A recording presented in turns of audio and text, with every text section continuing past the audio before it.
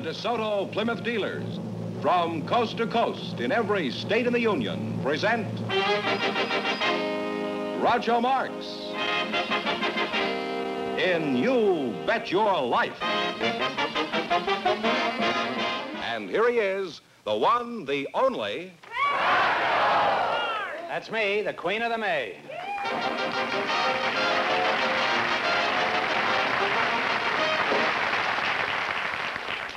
Well, here I am again with $5,500 for one of our couples, George. It's a lot of money, huh? Sure is. Any of them say the secret word, the duck will come down and pay him a hundred bucks. The word tonight is uh, house. H-O-U-S-E. Beat it. Groucho, the first contestant. that duck under my thumb. He won't make a move without me. Groucho, the first contestants You to. should see the bill he gets the end of the month. so what's that, Joe? I was saying, Groucho, the first contestants to try. Groucho is not the first contestant. No, no. The, the first contestants to try. I for was a contestant. I'd be standing over there and you'd be sitting here. I wish you were. Uh, the first contestant. And you're not alone either, Joe. What I was getting at. You're drunk with power, Fenneman.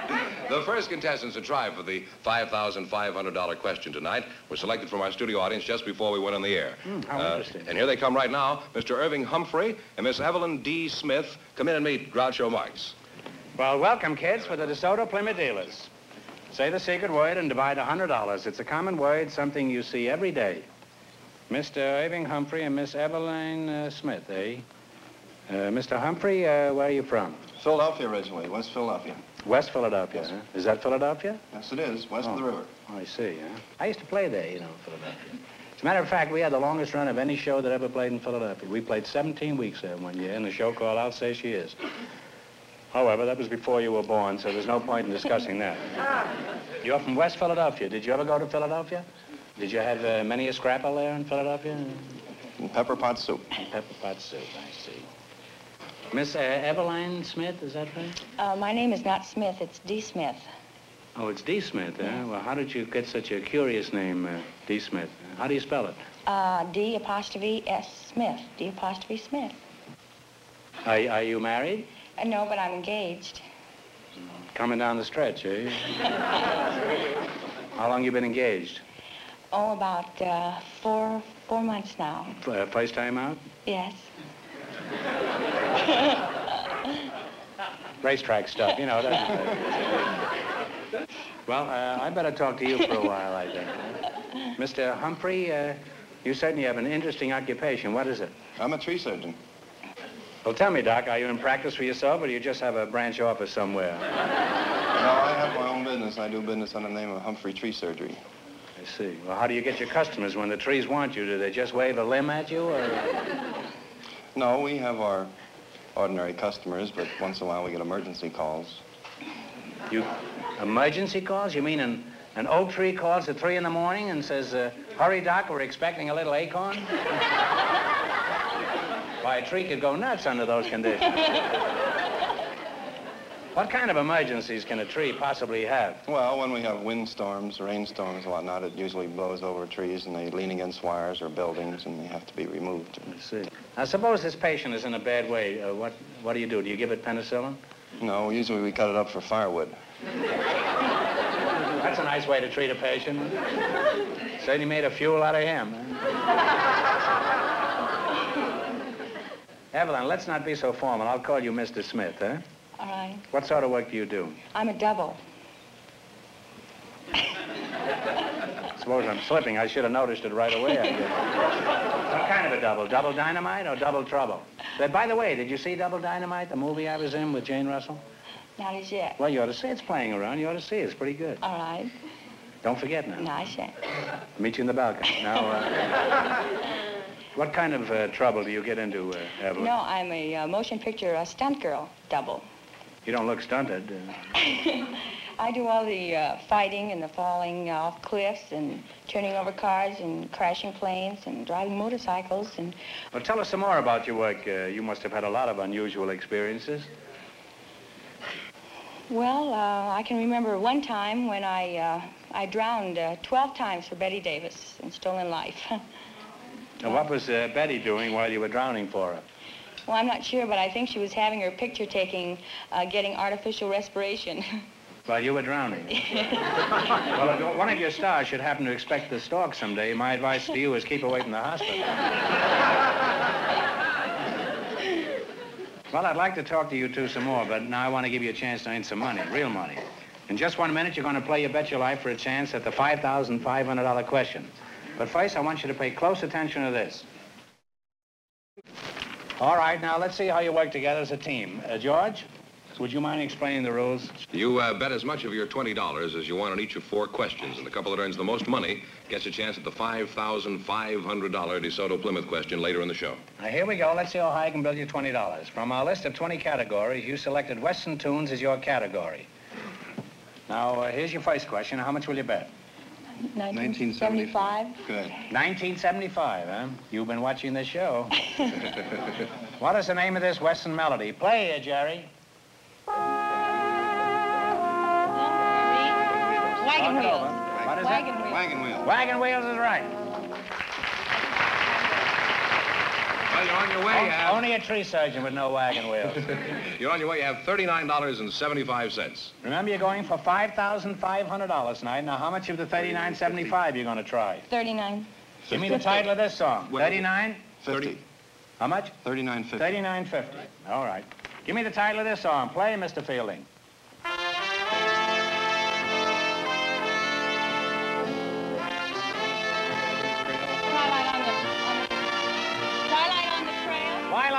Trail is right. You now have $79.25. And here's your third question. How much you going to bet? 79. 79. Let's see if you can identify this one. Okay, Jerry.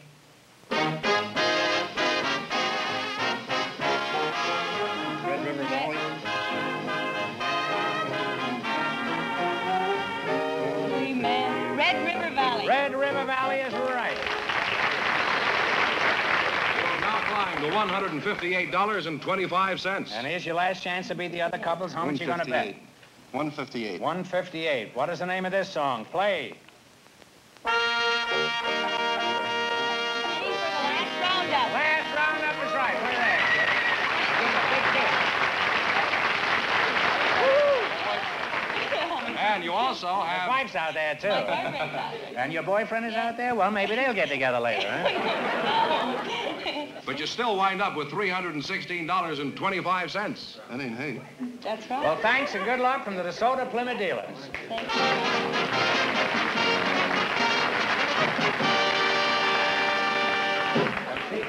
Groucho, we invited some beauty operators to the program tonight. And just before we went on the air, our studio audience selected Roberta Pretty Tate. funny. Her uh, partner is a housewife, Mrs. Uh, Teddy Rochers. Ladies, meet Groucho Marx. You're right here. Right in here. Right in How do you do? That's it. Welcome, girls, to You Bet Your Life. Say the secret word and divide $100. It's a common word, something you see every day. Miss uh, Rob- uh, Roberta Tate and Mrs. Teddy Roaches. Is, is that right? Uh, uh, where are you from, uh, Roberta? Well, I'm a native. You native what? Native son? Native daughter? Oh, you're a girl, huh? Uh-huh. It's amazing. Yes. Well, it isn't amazing, but it's certainly amusing. huh? You're a beauty operator? That's right. Well, so am I. Just show me a beauty and I'll start operating. Are you married? No, I'm not. Now you're talking, kid. I'll start operating right after the show. Mrs. Teddy Roaches, eh? Uh, where were you born, Teddy? Well, that's very complicated. Well, it usually is. Nobody has it easy these days. Teddy. Well, unusual. This is life is grim right from the beginning. See, before I was born, I lived in San Francisco. Before you were born, And after I was born, many I, people prefer it that way. and after I was born, I still Wait. lived in San Francisco. But Now, just just a moment, uh, just a moment. How did you know you were in San Francisco if you weren't born yet? Ah, but I know my mother went uh, for a trip, and she told me she went for a trip to Europe, and uh, she missed the boat. The boat, the engine was broken or something, so she couldn't come back. Your mother's engine was broken? The boat. The boat's engine was broken, and you were in Frisco and you weren't born yet. No. So in between, you see the two uh, San Francisco stays. Well, I was born in Paris. Well, that's clear enough for anybody but me. well, judging from your accent, uh, Teddy, you must have remained in France. Uh, did you just get over here recently? Oh, no, I was two weeks old when I came back.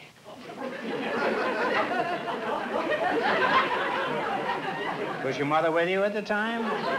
Oh, sure. Well, that's Paris for you. It's amazing what you can pick up there in two weeks.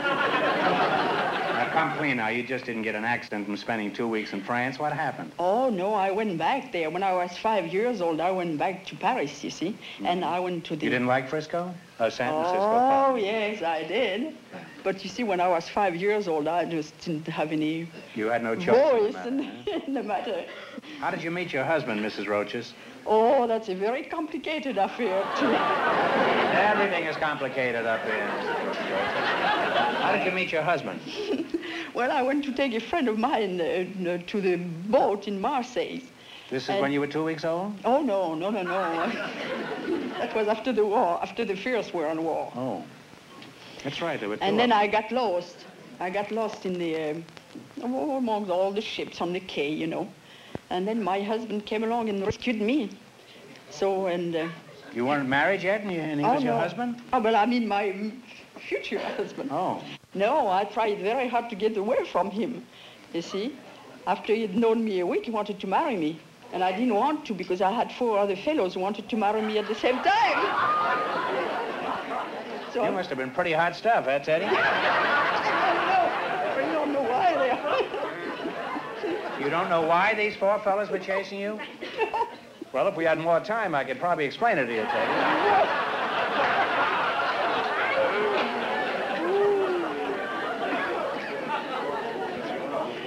French are pretty naive, aren't they? Well, this has been most interesting, and since we mentioned beauty tonight, my advice to you is see the new DeSoto Firedome 8, because it certainly is a beauty, and I know because I'm driving one. Now, you're going to play You Bet Your Life. You beat our other couples, and you'll get a chance at the $5,500 question. I can't tell you how much you have to win, but George is going to remind our listeners. The tree surgeon and his partner won $316.25. And the secret word is house. Here we go. Let's see how high I can build you $20. You selected songs associated with famous vocalists. Here's your first question. How much will you bet? Ten dollars? No, no. Talk right up, kids. 50. 1950? Okay. 1950. That's the uh, regular bet now. Who made famous the song Over the Rainbow? Judy Garland? One answer between you. I'm Not quite sure. I'm going to say Judy Garland. Judy Garland is right. And you're on your way. You have $39.50. All right. Remember, you're going for $5,500 tonight. How much of your uh, $39.50 you're going to bet? How much would you like to bet? Talk up, kids. Time's a wasting. 39. 39? $39. All right. Who made famous the song When My Baby Smiles at Me? Oh, If you don't know, take a guess. No, I know. Um, Ted Lewis. You have $78.50. All right, here's your third, uh, here's your third question. How much are you going to bet? You have $78.50. Oh, 78. All right, 78. Who made famous the song Thanks for the Memory? I know, too. Yes, too. Come on, kids. K- Oh, Take a stab. If you don't know. Kate Smith. No, uh, Not it anyway. sorry, it's Bob Hope. Oh, horrible. You now have 50 cents. Oh, that's a shame. This is your last chance to beat the other couples. How much of the 50 cents are you going to risk? oh. All of it. All right. All right, who made famous the song When the Blue of the Night? Oh, It was a good gamble, because I don't know. Well, take a guess. told you that wasn't by. I don't. It's uh, Bing Crosby. Oh, Should have figured that Bing would be in after, Bo- after uh, Bob Hope. Well, I, I'm sorry, but we don't leave anybody, nobody leaves here with less than $25. I'm going to give you this one question. Get it right, and we'll bring your winnings up to $25. You ready? Who is buried in Grant's tomb? It couldn't have been Grant. General Grant is right. Put it there. Thanks and good luck from the DeSoto Plymouth dealers.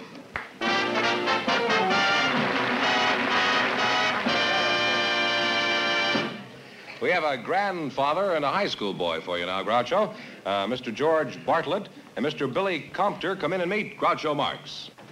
Welcome for the DeSoto Plymouth dealer. Say the secret word and you'll win $100. It's a common word, something you see every day. Grandfather and a high school boy, eh? Which one? Uh, step right up in here, mister. Uh, which one is the high school boy? I am. Oh, you are. Who are you? I'm Billy Compter. Well, I'm glad to know you. Then uh, this is uh, Mr. Bartlett, huh? You're right. George Bartlett, huh? Uh, Billy, how old are you? 17. And what is your age, Mr. Bartlett? Oh, I'm only 91. Really?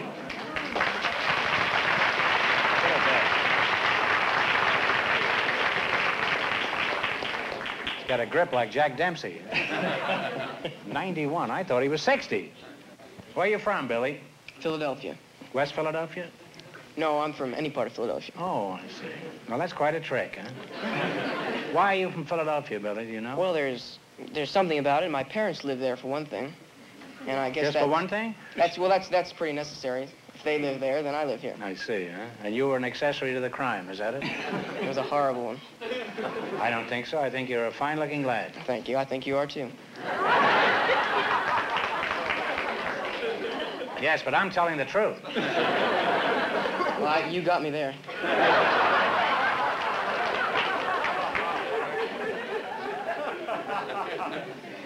Mr. Bartlett, uh, what's your hometown? Vineland, New Jersey. Where? Vineland, New Jersey. Vineland, New Jersey. Yeah. That's near Atlantic City, isn't it? Uh, down along that line, yes. Uh-huh. You're a grandpappy? Oh, only 15 children, uh, grandchildren. Is that so? Fifteen grandchildren, huh? On a dead man's chest, huh? How'd you happen to get so many grandchildren? Were you working have- in the vineyard? Uh, I have six children, and, uh, you know, they all got married. You know what happens after that. Frankly, I don't, but I'd be willing to listen to it. What sort of work do, you, do your children do? Oh, they're all doctors. They're all doctors? All doctors. No wonder you're so healthy looking. You don't look like you ever had a sick day in your life. Uh, Well, did you? uh, I was um, given up to die uh, some few years ago. I was uh, quite ill, and the doctors gave me three days to live. The doctors gave you three days to live. How long ago was this? This is 53 years ago. Well, for a doctor, that's a pretty accurate diagnosis. if there are any doctors listening, I'm only kidding. By the way, what are you doing listening? Why aren't you in surgery? First thing you know, young Dr. Malone will swipe all your patients. Better get back to that groaning board. Now, Mr. Bartlett, uh, to what do you attribute your phenomenal recovery? Uh, California climate, principally.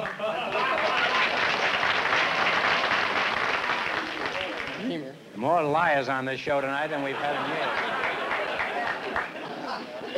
What are some of the jobs you've held during your career, Mr. Uh, Bartlett? Well, I started out kind of young, selling newspapers on the street uh, right after the Civil War. And uh, shortly after I had been selling the papers for a while, the people in the office thought that uh, I would make a pretty good devil. And so they uh, gave me a position as printer's devil. I worked there for a while, and finally I graduated from there and went to college. After I got through college, I went to work for General Electric Company, where I was made the chief consulting engineer. What sort of work did you do when you came to California? Oh, I dabbled in real estate. Did you make any money? Oh, about a thousand dollars a day, Really? A thousand dollars a day? What's... seven days a week. Is that so? You worked Sundays too, huh? Well, I tell you, I just worked all the time. Say, a thing, you must have had a lot of money. How long did, did you keep on making this kind of dough? Well, I kept on. I don't know what when I would have stopped, but uh, the crash came in 29, and I lost every blooming thing I had. Well, I wouldn't feel too bad about it. If you hadn't lost your money in the crash of 29, you'd be wiped out in the taxes of 52. Right, you are. George, I can't get over how healthy and young you look. What's the secret? Do you have a drink occasionally? Oh no, I don't drink. Do you smoke? Oh no, no. You lead an exemplary life, huh? Oh, I don't know about that particularly. I'm afraid to ask the next question. Now,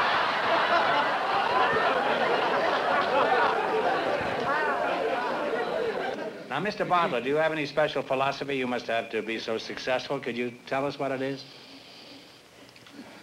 I don't know particularly, but um, some years ago I framed a little motto which I have on my wall in the I the framed a little model some years ago. you say you framed a motto? I framed the words which made the motto. Oh, pretty sharp, this fellow. And uh, the words were like this uh, God and I are partners in this business. God is owner, and I am steward. And I've tried to live up to that ever since. Well, that's, that's wonderful, Mr. Bartlett. I want to your hand.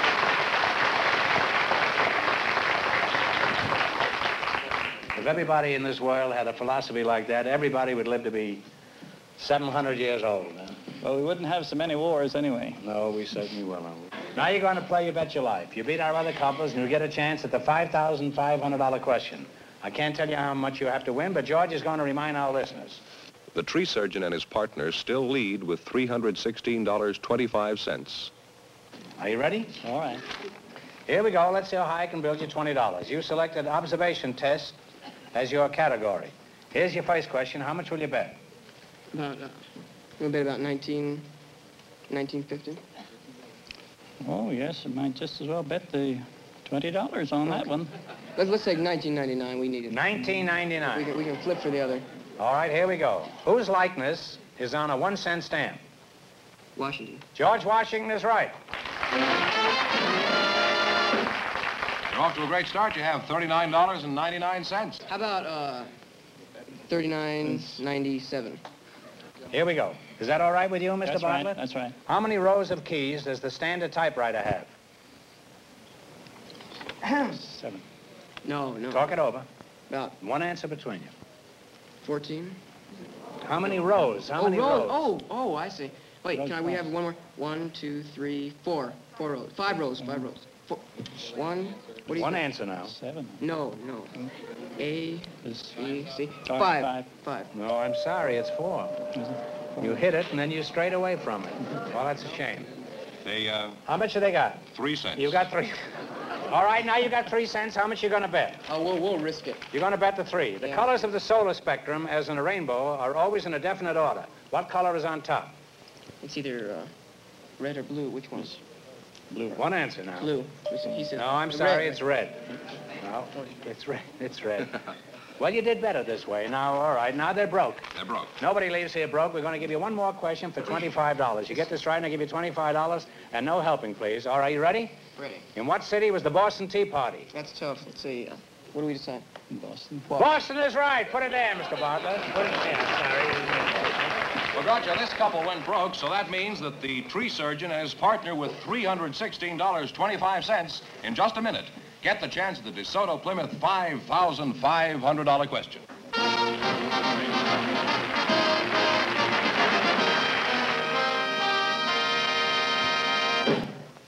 Say, Fenneman, I have something for you. It's here. Uh, it's a letter from Mr. Albert L. Mackenzie of Campbell, California. It's addressed to me? Of course not. It's addressed to me. What would Albert Mackenzie be writing to you about? Well, I don't know. Uh, For that matter, what would he be writing to me about? Oh, I remember. It's, it's, it's about a used car. Here, read it, George. oh, gladly.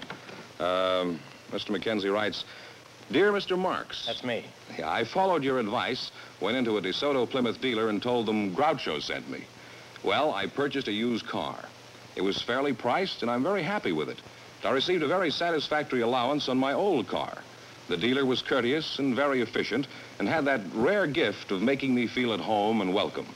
The deal was somehow lifted out of the realm of a mere business transaction where you simply got what you paid for and placed on an entirely different plane. It was a novel and pleasing experience. I thought you might be interested in hearing. It's signed, uh, yours very truly, Albert L. Mackenzie. Nice guy. Well, friends, I'm sure you'd like that kind of treatment, too. And if you're interested in a used car, visit a DeSoto Plymouth dealer. DeSoto Plymouth dealers, you know, have many makes and models to choose from, and in all price ranges. And remember, George, some of the cars are DeSotos and Plymouths the dealer has serviced from the day they were brand new. That's right. For top values in used cars, for a fair and square deal every time, go to a DeSoto Plymouth dealer. And when you do, tell them Groucho sent you. Here's the tree surgeon and his partner, the winning couple, Groucho, all set for the $5,500 DeSoto Plymouth question. All right, here we go for $5,500. I'll give you 15 seconds to decide on a single answer. A single answer between you. So think carefully and please no help in the audience. Here it is. Shakespeare's famous Romeo and Juliet is the story of two feuding families. Romeo's last name was Montague. For $5,500, what was Juliet's family name?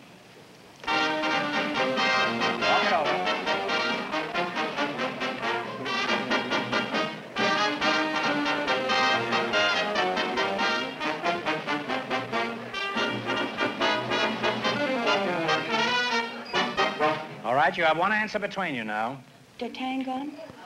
No, I'm sorry. The correct answer is Capulet. Capulet. So that means the big question next week will be worth $6,000. That's the most money we ever had. Well, you lost the big money, but you won. How much did they win the quiz, Uh, George? $316.25. Well, congratulations Thank and you. thanks to both of you and to all of our contestants on the show tonight. Remember that the dealers who sell DeSoto also sell Plymouth, the low-priced car most like high-priced cars. DeSoto, Plymouth, two great cars, both products of the Chrysler Corporation. Friends, go in and see your DeSoto Plymouth dealer tomorrow. And when you do, tell them Groucho sent you. Be sure to tune in next week, same time, same station, for the Groucho Marx Show. You bet your life. Brought to you by the more than 3,000 DeSoto Plymouth dealers of America. And remember, the DeSoto Plymouth dealers also bring you Groucho Marx in You Bet Your Life on radio every Wednesday night.